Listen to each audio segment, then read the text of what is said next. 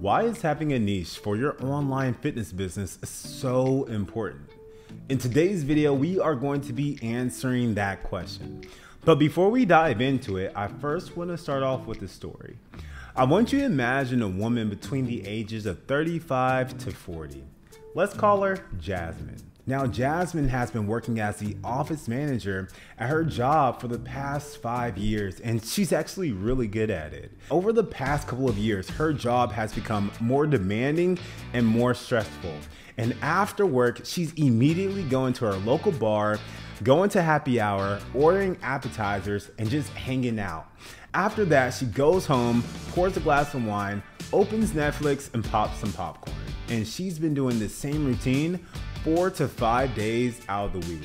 Now, she knew that she was developing unhealthy habits and unhealthy behaviors, but it just wasn't enough for her to switch Netflix for some dumbbells. It wasn't until one day she woke up out of bed with a screaming headache and blurred vision, and she quickly realized that she just blacked out last night with two bottles of wine scattered across the room. She got up out of her bed went to the mirror, instantly burst into tears. She could no longer recognize the person looking back at her in the mirror. She allowed herself to cry for a little bit, and then she quickly realized that she could do something about it. She can get her shit together. So she thinks to herself, you know what? I'm gonna hire a coach. Okay. So what's the first thing that she does? She opens up her phone, she goes to Instagram, and she types in online fitness coach. And she's immediately overwhelmed with how many fitness trainers and coaches are out there on social media. So she scrolls down a little bit and sees one girl, and she's like, oh man, this girl looks amazing. Look at her abs, look at her arm, look at her butt. Dang, I wish I could look like that. She then goes to her page, checks out her profile, and quickly sees how many followers she has. And she's like, dang, this girl must be legit. And then she reads her bio, and it states this helping you go from other woman to Wonder Woman. She reads it and thinks to herself, oh, other woman to Wonder Woman? That sounds pretty cool. Okay. So she continues to scroll on her page and then she exits out and goes back to the explore page. She continues to scroll on the explore page for a little bit longer and then comes across another video. And she's like, man, this girl looks awesome. I wish I could look like her. She opens up the video, goes to her profile page, and then she sees how many followers she has, and then she reads the bio. And the bio says this I help women transform unhealthy behaviors into high performing habits in 12 weeks or less. Instantly, she gets excited and thinks that this girl is her girl. This is the person that's going to help her transform and get into the best shape of her life because of what her bio says. She then continues to scroll down on her page and then she starts binging on all of her content because her content is all about transforming unhealthy behaviors into high performing habits.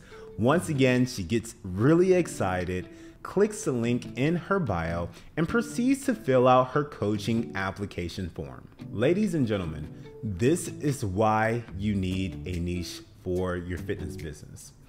It's not about how many followers you have. It's not about how good you look.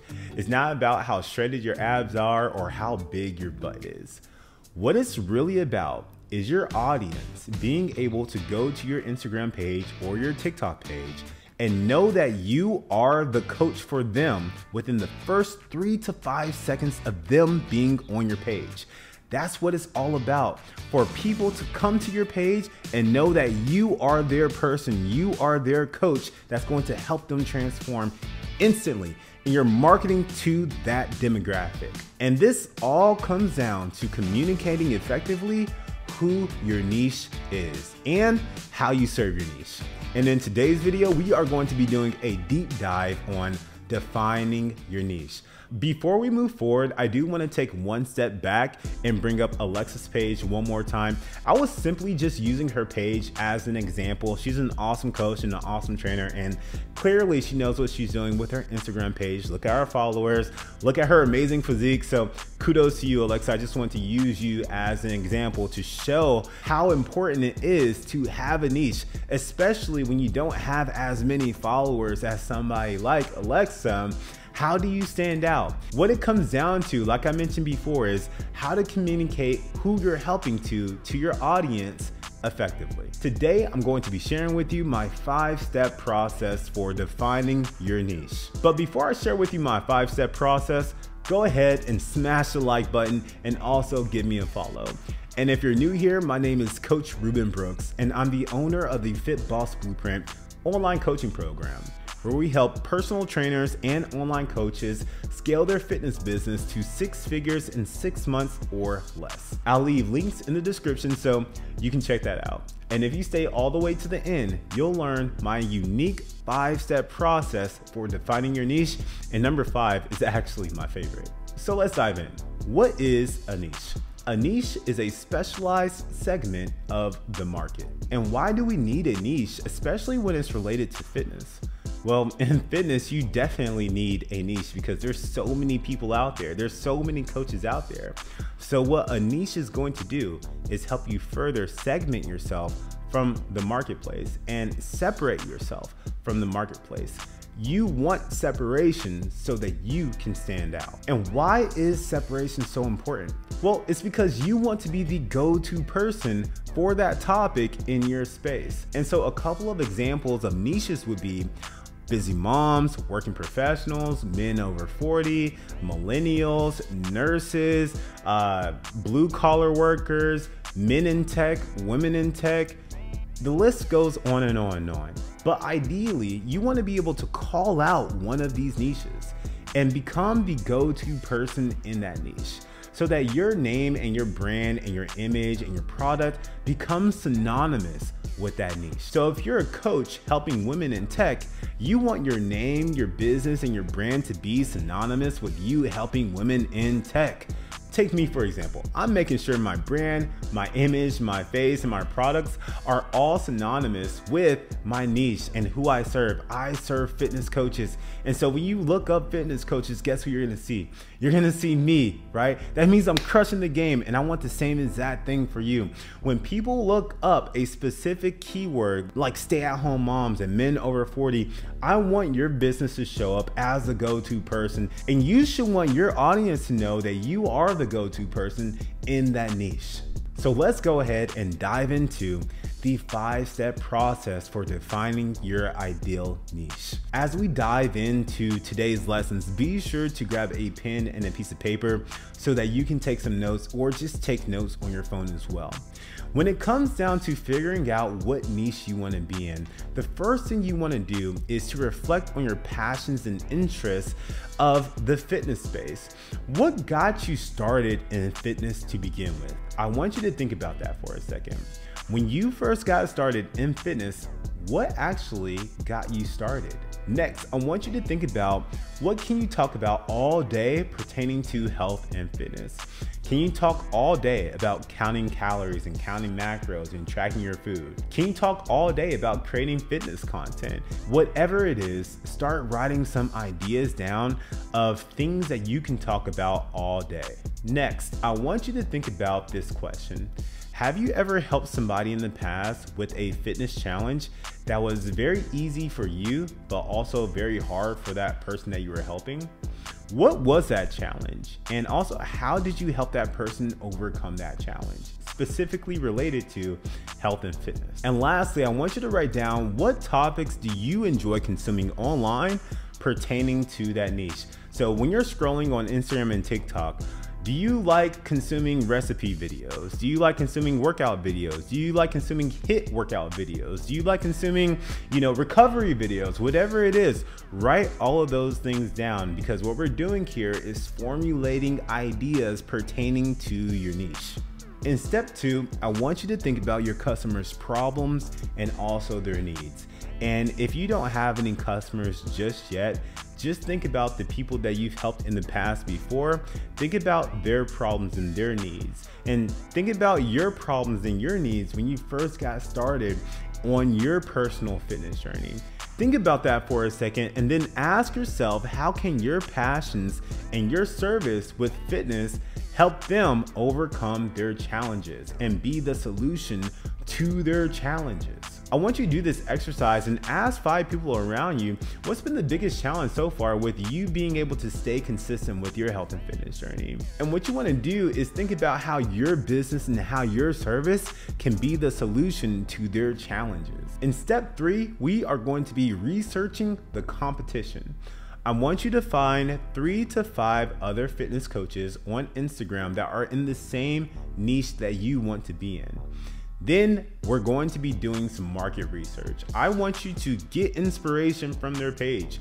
I want you to see how they're posting their videos. I want you to see how they're marketing their business. I want you to see how their aesthetic looks. Three to five different people now, okay? Because what we're gonna be doing is taking a combination of all of their information and then creating your own unique twist with it for your specific Instagram page. And we're gonna be catering all of that information to your target audience. And doing this will help you make your page better than the competition and stand out further. In step four, we're going to be defining your niche's profitability. And this is extremely important, so please pay attention to this. Defining your niche's profitability is going to determine how much money you're gonna be making in your business. And let me explain. If your niche is in strength and conditioning, and you're going to be targeting high schoolers and teaching them to be faster, bigger, and stronger so that they can better their chances of playing football on a collegiate level. The profitability of that niche is very slim. The reason why is because kids graduating from high school, they don't have money. They don't have money to buy your program. They're using their parents' money. So, who are you really marketing to here? Are you marketing to them or are you marketing to their parents? So the profitability of this niche is very low. I want you to think about the story that we talked about at the beginning of this video.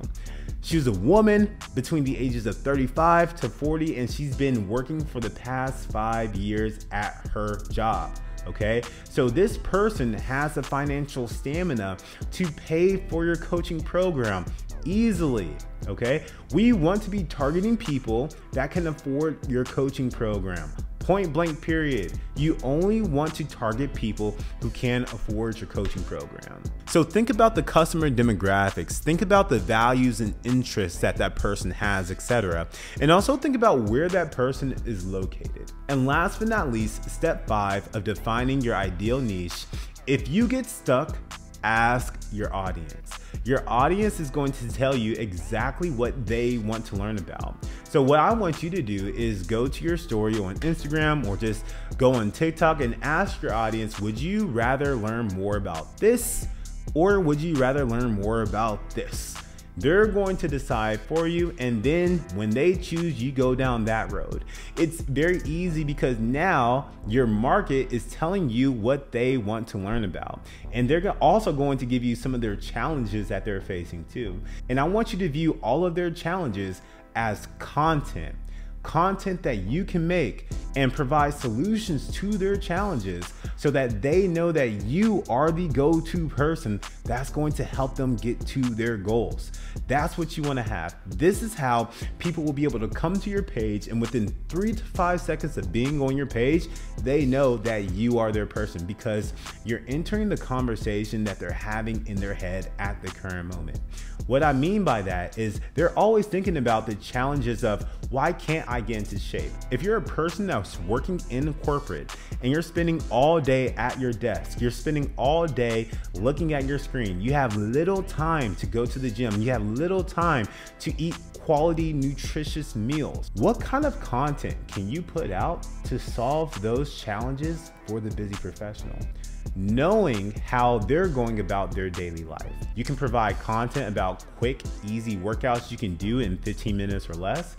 You can talk about quick protein snacks that that professional can keep at their desk.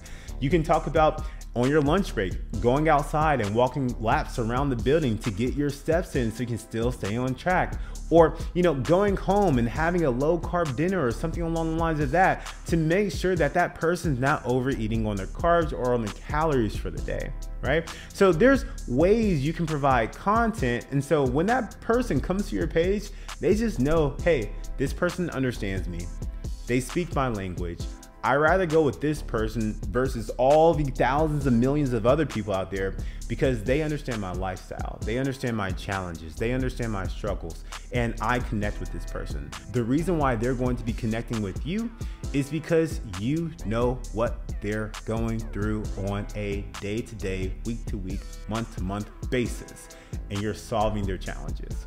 So use these tips when it comes to defining your niche in your business Separate yourself from the masses and stand out. Create your own vibe, create your own aesthetic, but serve your audience.